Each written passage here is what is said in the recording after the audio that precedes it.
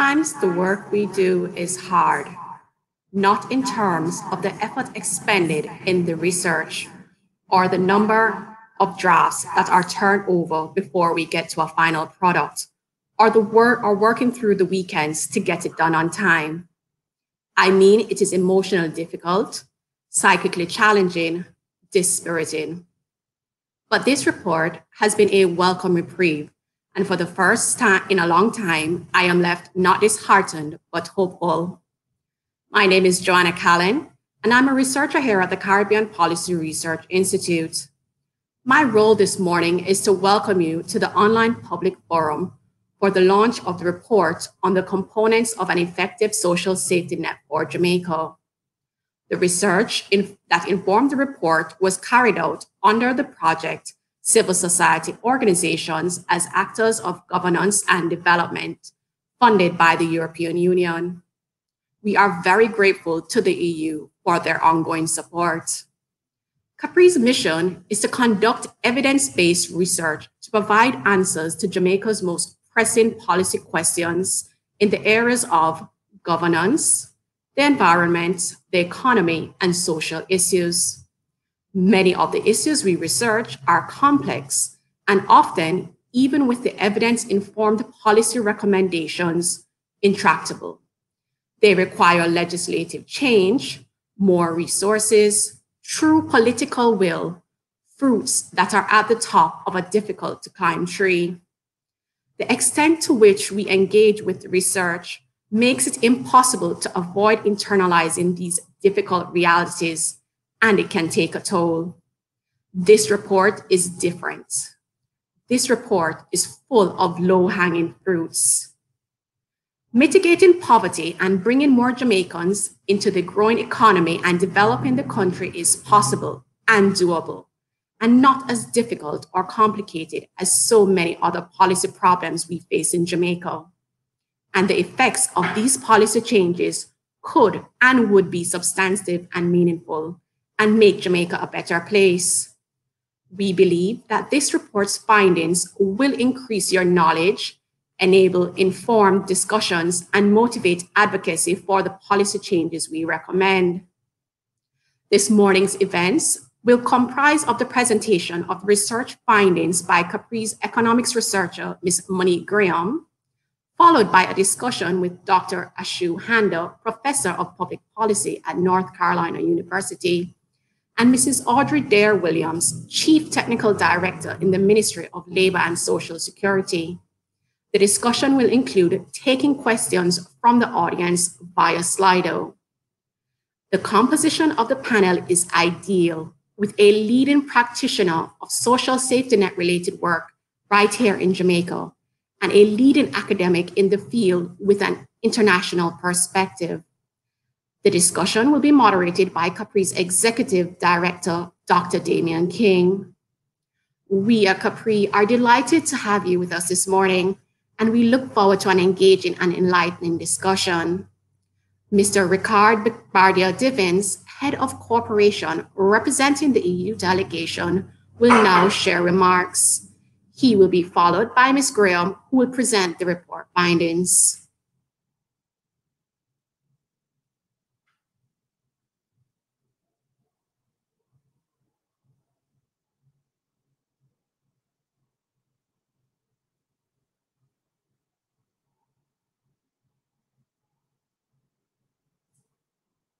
Morning.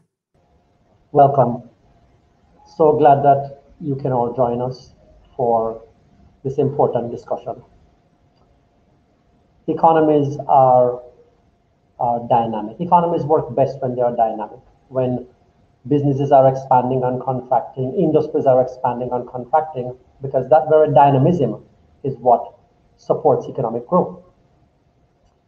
But at at the end, underneath all of that dynamism is changing fortunes for, for individuals, for workers, for households. And so it is critical for the economy to have an effective social safety net. Today, we want to talk about Jamaica's social safety net and how effective it is in the course of the normal dynamism of an economy. the social safety nets around the world, in, in all countries, they have been severely tested by the global pandemic. And many of them, including Jamaicans, have been exposed. They have been found to be wanting. And that was the motivation behind our, our rigorous look at the effectiveness of Jamaica's social safety net.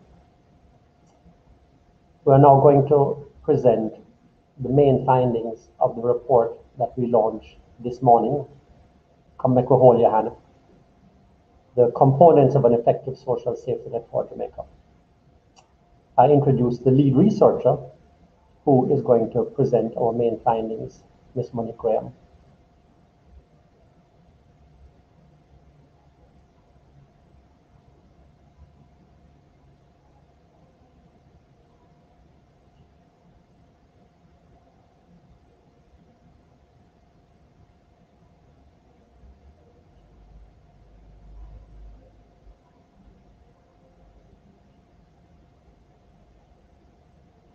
Safety.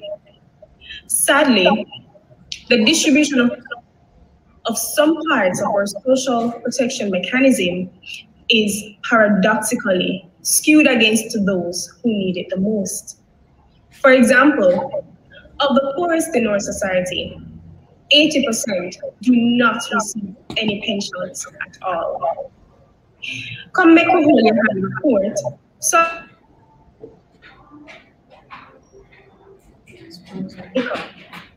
In doing so, it assesses the effectiveness of existing programs, highlights the elements or the potential elements of a social safety net, and propose reforms where necessary of these potential elements.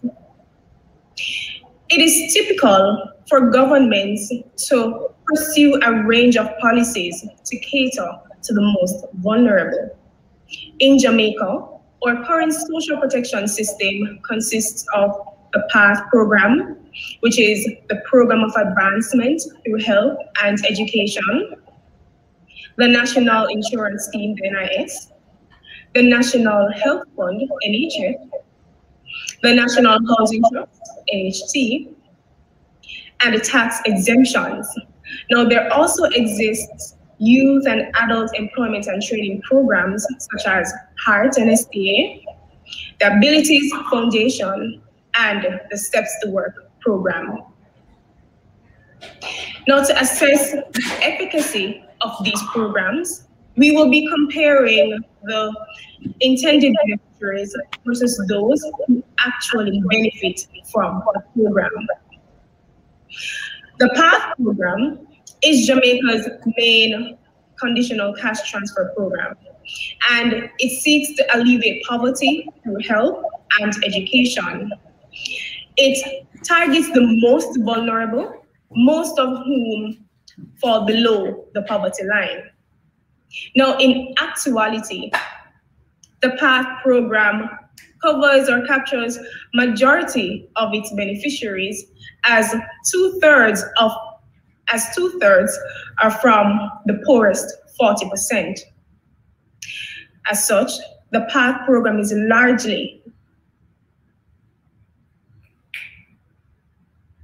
is the program that is who are neediest among us. And when it comes to those who are at a pensionable age and do not receive any pensions, not even the NIS, PATH seeks to provide them with social pensions. However, PATH only captures one in eight of the neediest elderly. This is concerning. The main pension scheme, however, is the National Insurance Scheme, which provides pensions or seeks to provide pensions for all the employed, including the self-employed. When we look at the distribution of the NIS, we realize that only a third of the poorest 40% receive an NIS pension. Given that Jamaica has an aging population, that is, those 60 years and older, they're the fastest growing population in the country. It is very worrying that PATH and NIS seem to miss a large portion of its intended beneficiaries or in its intended target. Health is also important, and the National Health Fund seeks to provide those who are suffering from chronic illnesses such as asthma, diabetes, or hypertension with pharmaceutical subsidies. With pharmaceutical subsidies. Now, of this proportion, only 48% benefit from the NHF. If we should look at the distribution of the benefits across quintiles, we realize that 90% of the beneficiaries do not constitute those who are below the poverty line. The cost of medicinal drugs, and it has a relatively high copayment. And as such, it mostly benefits the rich rather than the poor. Further, a product that the poor can't afford anyway is not a good element of a social protection architecture. And so the NHF is ineffective as a social protection policy. The National Housing Trust seeks to make housing more, affo more affordable for its contributors, and these include low-income workers. However, majority of the benefits are accrued to high income earners as they are twice as likely to receive mortgages than low income low income workers. While it is that the poor aspire to own or have their own home, their priority is not to get a house. It is to know where the next meal come from. And contributing to the NHT does not help them to achieve this. Therefore, the NHT is not a good policy as a social protection architecture. There are also tax exemptions, and based on the purpose of these, it, it, it would seem as though these should accrue more benefits to the poor as they aim to reduce the cost of basic consumption items for poor households, such as food. Now, we will illustrate this using the example of canned items, canned food items. In 2017, poor households items. This as opposed to the wealthiest 20% of the population who consumed 200,000 worth of canned items. Put simply, for each can, for each item of canned food that the poor consumed, the rich consumed poor. This illustrates that tax exemptions heavily subsidize the expenditure of the rich and yields little benefit to the poor. A simply fiscally inefficient way of targeting the poor. There are other ways to help the most vulnerable. This can be done through job training and employment programs. The Heart Trust NTA is Jamaica's main job training and employment program. And it, seek, it targets at-risk and unattached youth to address the problem of high youth unemployment. To, to better facilitate this group, HEART lowered its minimum requirements so that enrollment would be more attainable for vulnerable youths. Having done this, having done this, um, HEART saw an increase in their enrollment. However, as illustrated or as outlined in the Auditor General's report, the lack of effective monitoring and evaluation if, um, undermined the efficacy of these programs, causing HEART to achieve suboptimal um, outcomes. Now, more disadvantaged than their able-bodied counterparts,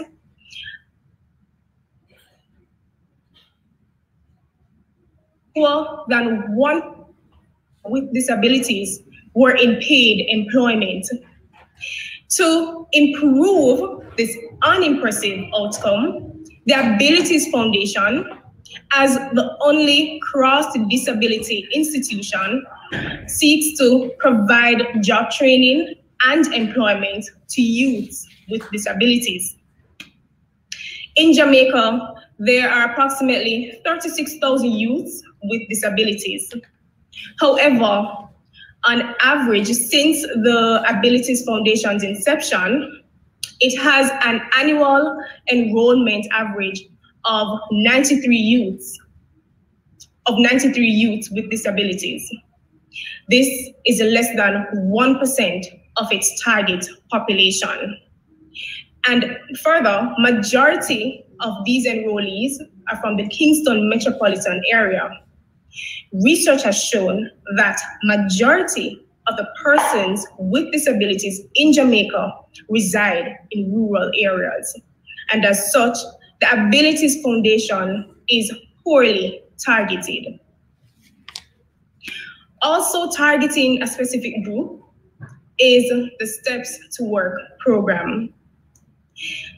This program provides training and exposure to employment opportunities to PATH beneficiaries. In 2019, out of 32,000 eligible PATH recipients, only 2,000 benefited from the program, less than 10% of its target. As a result, the Steps Work program is poorly targeted. Its voluntary clause significantly impedes its ability to reach majority of it.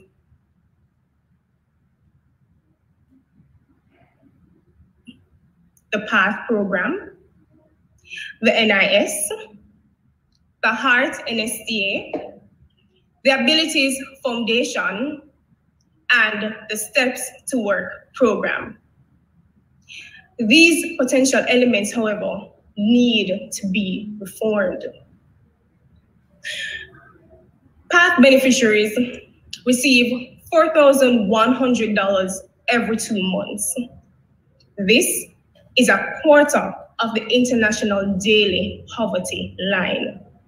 As such, it is necessary for the payouts to be increased if it, if it is to have a stronger impact on alleviating poverty.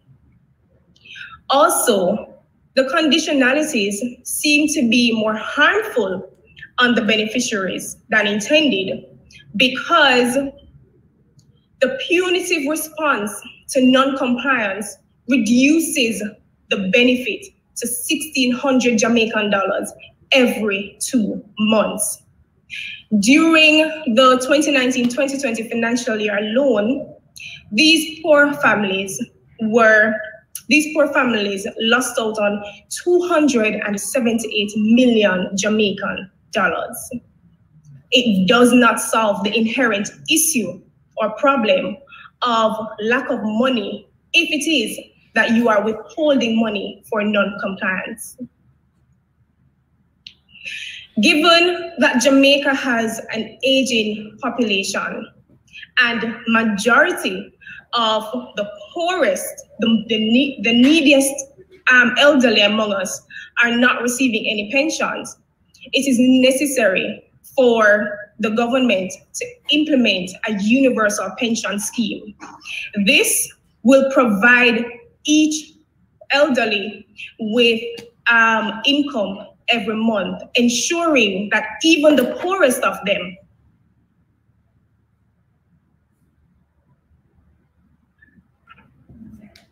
Um, medical expenses is one of the surest way for vulnerable families to fall into poverty. And we see that during this crisis. So the government needs to implement a universal health insurance scheme, similar to the one that was designed and drafted by the Ministry of Health and Wellness in 2019. The Heart Trust NTA is very important to provide youth at risk and unattached youth with the necessary skills they need to, to transition into the workforce. As such, HEART needs to systematically monitor and evaluate its program programs to improve the efficacy. Economic inclusion is very, economic inclusion of persons with disabilities is very important. And the Abilities Foundation is in a unique position to do this. As such, they should establish facilities outside of the Kingston region to increase their targeting efficiency. Now, because the Steps to Work program is voluntary, it is necessary that more resources be devoted to promotion, recruitment, and incentivization in order for the program to increase its throughput and graduate past beneficiaries to financial self-independence. Now, these reforms must begin by enacting legislation. The parliament should pass the National Assistance Bill to replace the Poor Relief Act of 1886. This act was last amended over almost over 50 years ago. Parliament should also table the codes of practice component of the Disabilities Act, as it is crucial for the Act's enactment and thereby the inclusion of persons with disabilities. Inclusive growth is attainable in Jamaica. The policies that constitute an effective social protection architecture, them already there. The government just needs to shift resources from ineffective policies to those that have better targeting efficiency and more impact in alleviating poverty among our most vulnerable. Come, make me hold.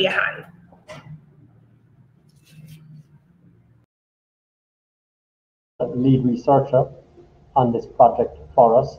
Before we get into the discussion with our two panelists and with the wider audience who will be interacting with us remotely, I would like to introduce Mr. Ricard Bardia Divins, who is the head of cooperation at the EU delegation in Jamaica.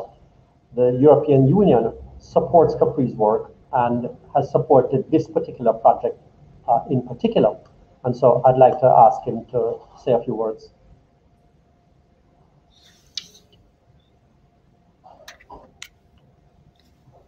Thank you. Thank you very much, uh, Dr. King. Uh, good morning, everyone. Um, I would like to, to say a few words on behalf of the European Union to highlight the importance of, the, of this topic uh, that will be discussed.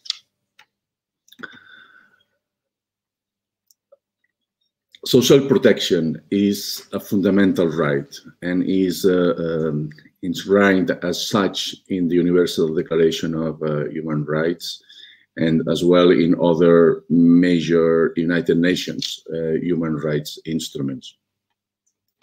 The adoption of the 2030 Agenda for Sustainable Development has reaffirmed uh, the global commitment, which prioritizes social protection and uh, as a means to achieve uh, several uh, SDGs.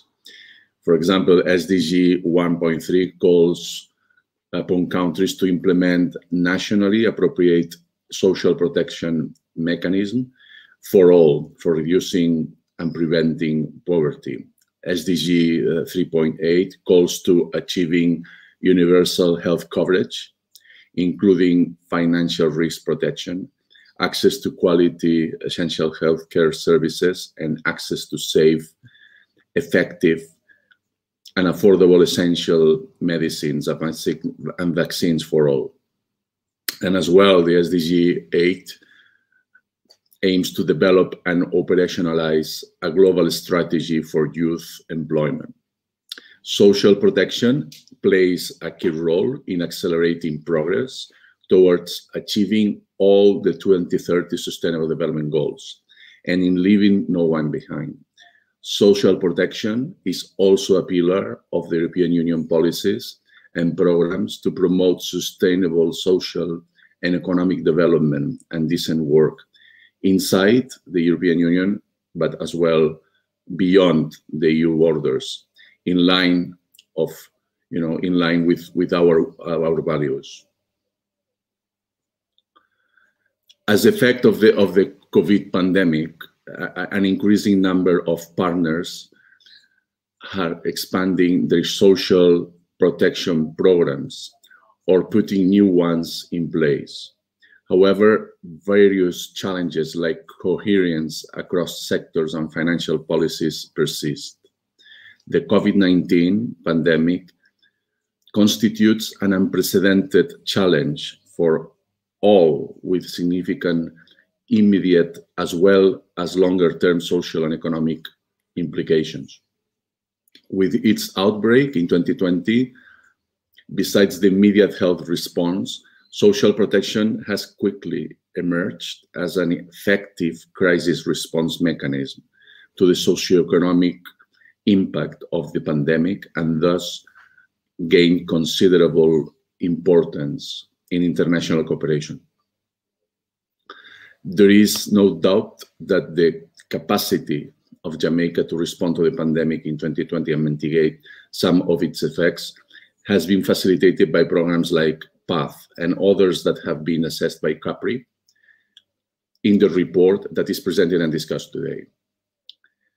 It is important to maintain and expand this fiscal space and delivery capacity of social protection uh, systems during this crisis. Continued investment in social protection will also be key once countries move into recovery and this will also make systems more resilient to face future shocks. In 2020, the pandemic has revealed the structural weakness of social protection me mechanisms. One could say that the pandemic is like a stress test revealing the strengths and weaknesses of our societies and social systems. For all these reasons, it's a very good moment to raise the issue of inclusive growth and social protection in the public debate with this report prepared by CAPRI and co-funded by the, the EU. This action aims to enhance governance and accountability by improving the responsiveness of policies in the areas of empowerment of women, youth advocacy, and economic inclusion. With this support, the European Union is helping civil society actors to participate in public debate through informed decision-making, free from interference, and preserving open democratic debate. I would like uh, to congratulate CAPRI for choosing to invest the, the EU contribution to nourish the debate around this topic and for proposing recommendations that can be the base for future and better policies and programs. Thank you. Thank you very much. Thank you, Ricard. You know, this, this is really one of the most important questions, one of the most important policy questions that a society faces. And the answers that we can come to and agree on today is going to be a critical part of how Jamaica moves forward. It is for that reason why I am particularly pleased to have the two commentators that we've been able to get to agree to participate today. We have Mrs. Audrey Deer Williams, who is the Chief Technical Director of the Ministry of Labour and Social Security. She is representing the policymakers in this area, and they're, of course, critical to the discussion. It gives me enormous pleasure to welcome our other panelists, Professor Sudhanshu Handa, who is Professor of Public Policy at the University of North Carolina, one of the world's leading uh, authorities and academics on the area of social protection and a great friend of Jamaica. Between Mrs. Williams and Professor Handa, I know we are going to have an enormously fruitful discussion. I'm going to ask both of them to start off, to kick off the discussion by giving their reactions to the report and to this area in general. I'm going to start off with you, Mrs. Williams, from the Ministry of Labour and Social Security. Thank you, Dr. King. Allow me to acknowledge Mr. Bardia, Head of Cooperation representing the EU, my other panelists, Dr. Professor Hannah, Handa, and of course, we have to acknowledge Ms. Monique Graham, researcher. Also, allow me to say good morning to other invited guests and others who are tuned in. Good morning, everybody. I want to start by congratulating Miss Graham on her report. Come we hold your hand. Her effort in shining the light on the state of social protection in Jamaica is certainly commendable. You know, very often persons see social protection as a poor people business. But in fact, social protection is everybody's business. COVID 19 would have taught us that at any moment, any one of us could find ourselves among the vulnerable group. So we in the Ministry of Labour and Social Security welcome the report and look forward to discussing the recommendations as you heard outlined earlier. I can state that some of the recommendations are actually policy decisions that we have already taken and are implementing. There are other recommendations, though, that I think merit further discussion and so we look forward to the debate. We thank Capri for inviting us to be a part of this forum, and we wish for all a successful session today.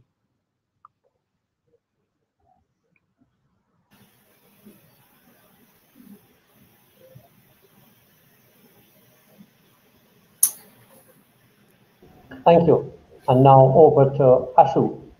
Welcome. Hi, good morning, everyone. It's great to be with you, and thank you for um, the invitation.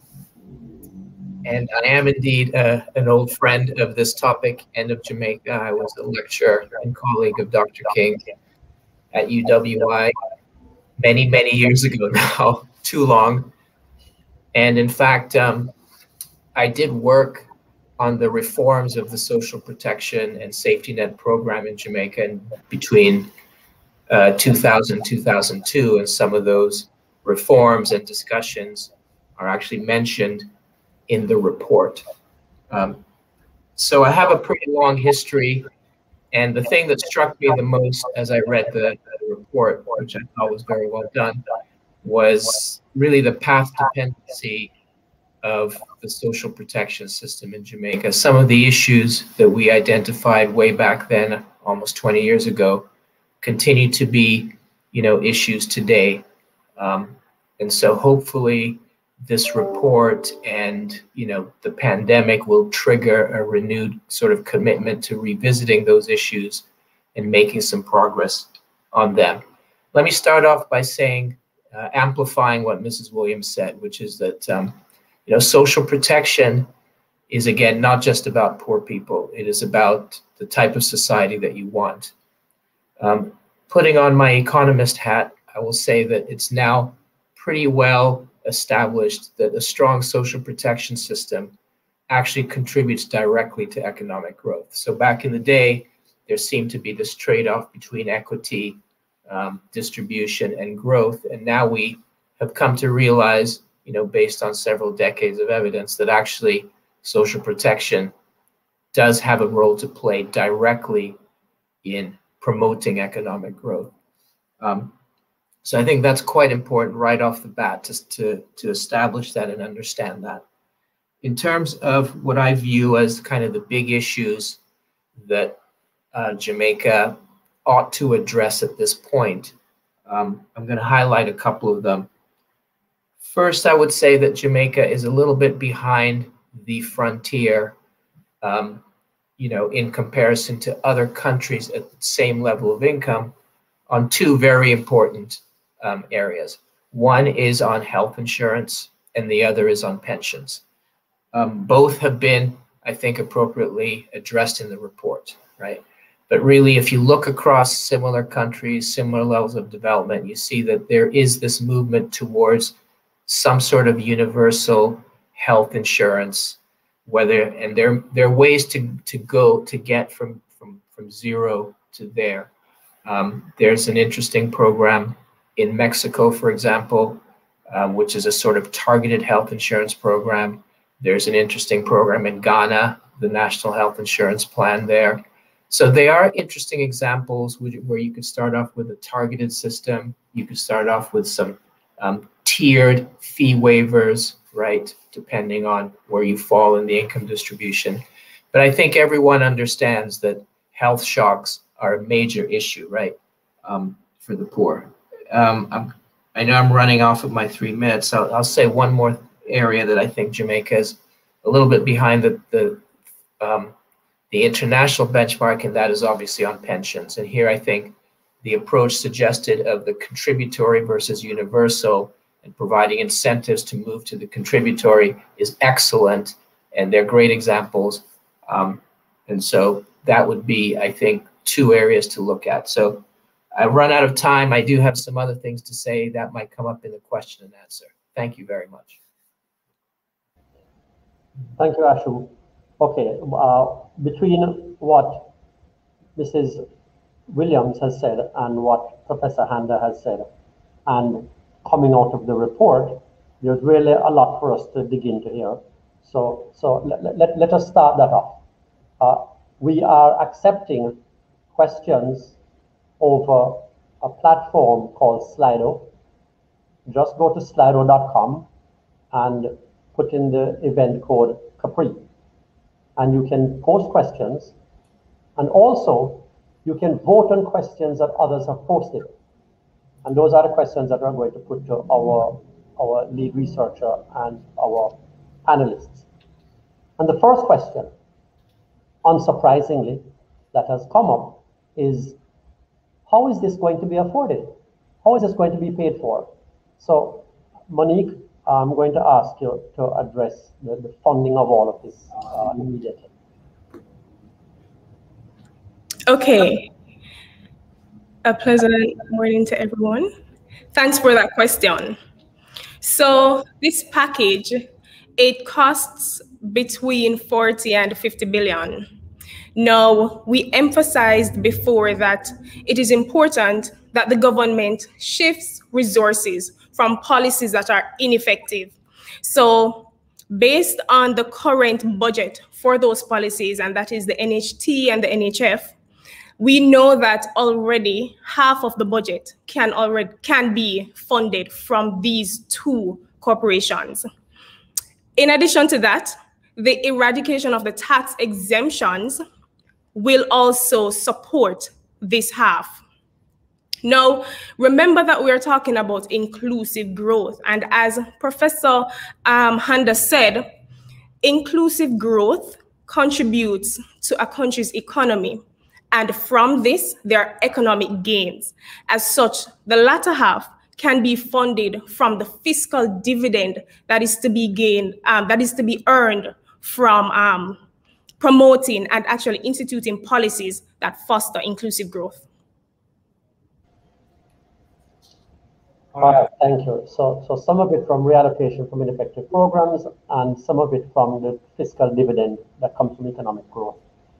Uh, you had mentioned, Mrs. Williams, about some of the recommendations already sort of being thought about and moving towards implementations, implementation. So can you just identify, you know, which of those is, you know, already on the government's radar? Uh, sure. For instance, Monique recommended that the conditionalities that uh, related to PATH should be reviewed. Well, she said removed. And I can assure her that as we speak, the ministry is in fact reviewing the conditionalities because PATH has been around for 20 years. And we are, in fact, also doing a tracer study to see what impact the program has had on our beneficiaries. So that will help guide policy as well. So we are, in fact, reviewing the conditionalities. So we accept that. And, and that is in train. I also need to mention, though, Monique spoke about the social pension. No, I believe she's referring to the elderly benefit under the PATH program, which was not really designed as a social pension. In fact, you may be aware that in the new financial year, 21 22, we will be launching an official social pension. And that will, it will not be universal because of that first question which was asked, the cost. Uh, it will be targeted targeted at persons 75 years and older who are not on PATH, who do not receive NIS, and who are not in government institutionalized care. So that we intend to launch in in the first payment is due in July of this year. So we have we are putting in place and a proper so a, a, direct social pension. And in fact, I need to mention that the payments under the social pension will be about 30% higher than the elderly benefit now under PATH.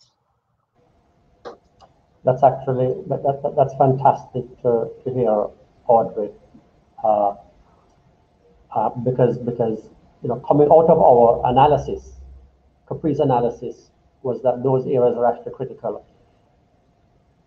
since we talk about, since the report talks about the conditionalities, and you have mentioned that the conditionalities are being reviewed, well, this is a perfect time to ask Ashu, who not only is he one of the world's leading authorities and academics on the area of social protection, but in particular on cash transfer programs. So Ashu, can you talk about, well, sort of in general, about the effectiveness of cash, cash transfer programs? You know, there's a lot of suspicion about you know, giving money to people and how irresponsible people are going to be with it and and supporting a freeness mentality. So just, just talk a little bit about the effectiveness of cash, cash transfer programs and in particular about the need for conditionalities or the need for conditionalities. Sure. This is um, a little bit of a hot button issue, definitely. Um, I would say that, you, you know, research over the last decade, culminating in, in several pretty high profile review articles, have shown without doubt that you know the poor use money wisely. Obviously, they're very resource constrained, and they use actually money much more wisely than than the middle class do because precisely they're you know working under conditions of extreme scarcity. So this idea, you know, this idea, this myth has been completely busted, right? Which is that um, a little bit of cash is going to lead people to stop working and to start, you know, smoking and drinking. So that I think the evidence is very clear on that. Then there's the second issue of conditionality, right? Um, and here again, I think the the unfortunately the um, and I was part again, I was part of the 20 the 2000 2002 reform where we moved from the food stamp program to the PATH program. And at that time, there was a very rigorous debate around the issue of conditionality. Um, and I would say that it wasn't a it wasn't agreed upon by all parties, but ultimately um, conditions were instituted in that PATH program. Um, one of the issues we said at the time was that conditions reduce the value of the transfer because you're required to spend time doing stuff, and that obviously is a resource drain. Secondly, what are the what is the purpose of the program? Right? Is it a social protection income support program or is it an education program or is it a health program? Conditions relate to education, they relate to health. is that what the Ministry of Labor or Ministry of Social Welfare, you know, is that their sort of purpose? Isn't though aren't those things better left to those line ministries, right? Um, and then finally, particularly in developing countries, and particularly I would say in Jamaica, amongst you know poor areas, the quality of health facilities, the quality of schooling, is a real big issue, right? And I think you know everyone wants to go to a good school, and when the school is not good, and when you know you're sitting with 40 people and the teacher is not motivated and it's hot, um, you're not really learning much. To then condition poor households to force their kids into that situation um, just doesn't really, you know, make sense. And I think the world is coming around to that slowly. Thanks. Thank you very much. Uh, uh, a viewer through Slido is examining the components that we have proposed and is noting the absence, uh, Monique, of, of unemployment insurance. I know it must have come up in the research, so can you say something about the absence of a proposal for unemployment insurance? Why is it not there? Okay, so unemployment insurance, that is really for persons who have a job or are working and for a particular time. Now, as a, as a social protection policy, it will not work because a lot of these persons do not have jobs to begin with. And a lot of them occupy informal employment. And so even if it is that they're working, they would not benefit from unemployment insurance. Further, where it is that persons actually benefit from these, um, these payments, it is for a short period. And so we find that that does not really have a strong impact on alleviating poverty right? Um, research was done on the Caribbean, and it showed that because of the the large informal sector in the in uh, in the region, right, it would not it would not serve the purpose of pushing people into the formal sector, but rather it may foster um, them staying in the informal sector and collecting those benefits. Thank you um, a Slido viewer. You know, we have, the, the report focuses on on the policy. What are the components of an effective social safety net? And didn't pay any attention to the institutional framework in which that policy is implemented. And someone has asked on Slido about about that difference? And I think I'd like you to answer that question, Audrey, from the Ministry of Labour and Social Security. And the question is, if we had all of the components of the social safety net under a single ministry, would that make the programs more effective? Would that make the management of them more efficient? Is that something we ought to be looking for? Um, and this is my personal opinion No, I'm not sure that that would necessarily improve efficiency.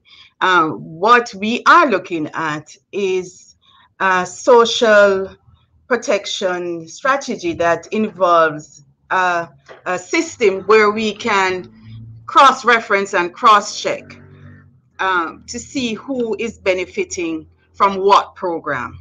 So we are examining that, that is more where we are going, not necessarily where we would have all of them under one one umbrella. In fact, though, re recall that we do have opportunities for networking because we do meet at the National Social Protection Committee at the Planning Institute and we do exchange ideas and we we benefit from those discourses. So I, am I'm, I'm not sure, and and, and um, that is my personal opinion. We're also looking at strengthening referrals uh, around the system so that if a person enters one as one area of the system, they can be referred to another aspect. We are looking more into case management of our of our applicants or beneficiaries rather than having them all housed under the same umbrella. Thank you. Ashu, you had mentioned in your remarks an element of this discussion which has certainly not been part of the public debate around the social safety net in Jamaica, even though I know it has come out elsewhere.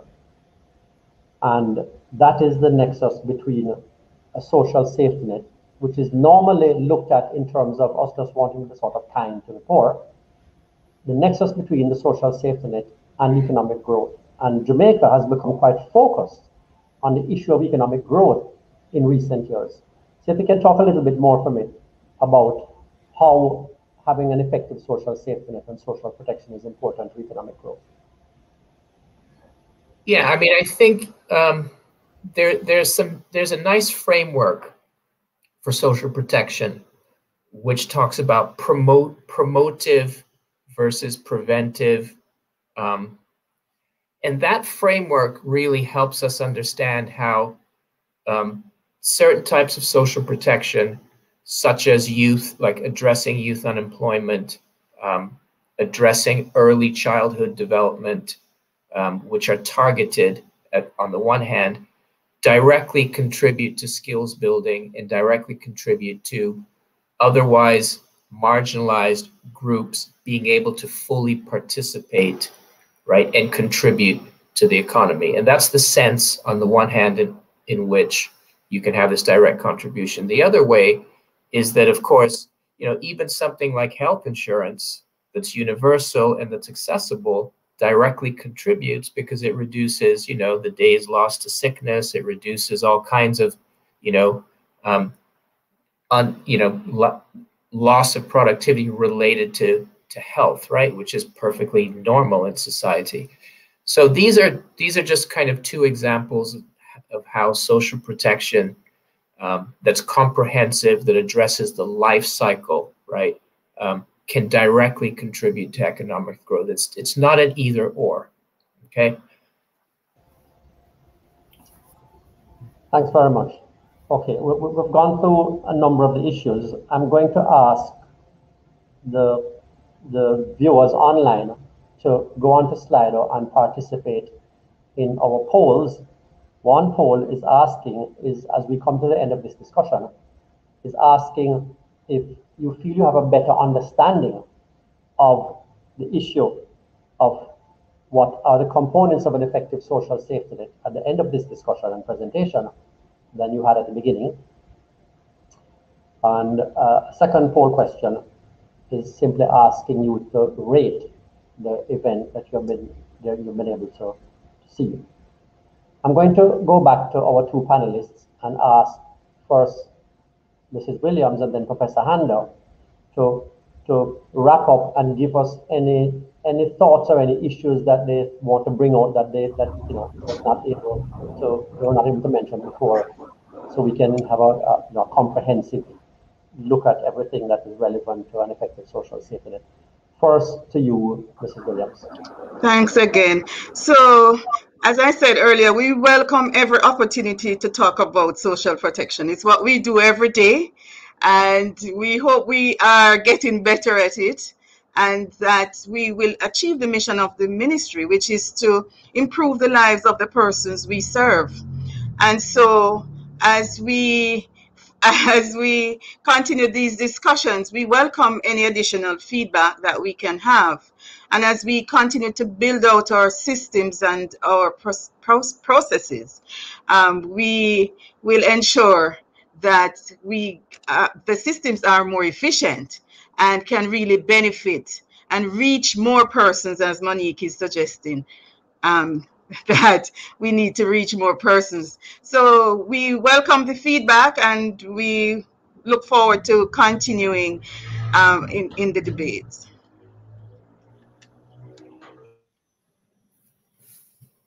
Give us some, some final thoughts and mention anything else relevant to this discussion that you think has not been brought out yet. Sure, thanks a lot. And um, I really appreciated the comments from Mrs. Williams, by the way. Um,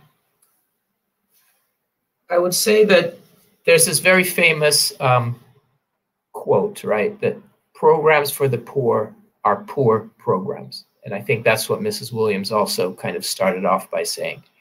I think it's important as you move forward to develop this sort of comprehensive life cycle vulnerabilities framework, um, you know, overlaid with sort of risk management strategies.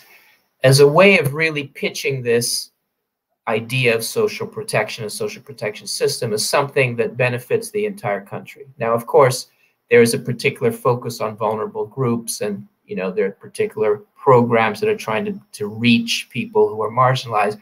But by and large you know the big components the pillars of a social protection system right? The pension system the health insurance system are things that affect everybody and i think that's the way to really approach this and i think it's high time that jamaica you know given where it where it fits in globally it's really high time that jamaica adopted that approach and really you know, sold to its citizens that a comprehensive system benefits everybody, right, to get the buy-in. And I think to do that, you know, you need a policy, you need the framework, and then that needs to be adopted by cabinet, and then you need to reform, you know, the, the act, the Poor Relief Act accordingly. Thank you. Thank you very much. What we are dealing with here is to try to put together, to try to focus on, on what are the effective components of a good social safety net. There's a, there are a combination of factors that come into play, uh, some of which are important and some are not. The social safety net that a country ends up having may be informed by what works, but it is also informed by what is electorally popular and what is sacred because it's been around for a long time and was instituted by some, you know, well-respected, long dead political figure. We really need to, to be rigorous about focusing on what is effective and what works for the society. And that is the process in which we're engaged. That is why we have done the research. That is why we have brought in Mrs. Williams and Professor Handa to give us some, some guidance on this some really important points have come out here. One of which is that is that the social safety net is not only about wanting to be in a type of society that protects its most vulnerable members and the weakest members of society, which is almost a spiritual consideration. What has come out is that an, an effective social safety net works for the whole society and that it is critical to economic growth and we wanted more than anything to come out of the research and the discussion to have a focus. And the focus seems to be that cash transfer programs are, are effective and we need to move along towards reforming and putting more resources into our cash transfer program, particularly in relation to the role of conditionalities. And two areas that have shown to be most effective and in which Jamaica is behind which is pensions and health insurance, universal health insurance and a pension scheme that is also universal and goes to all of the elderly. That is where we need to move forward. I'm going to close off this, this discussion by asking Capri's Joanna Callan to give us some closing remarks and, and final sign off. Joanna? That is the conclusion of our event today. We would like to thank our panelists, our sponsors, and of course, our audience members for joining Capri's discussion today. Our report will be available on our website, caprion.org, and enjoy the rest of your day, ladies and gentlemen.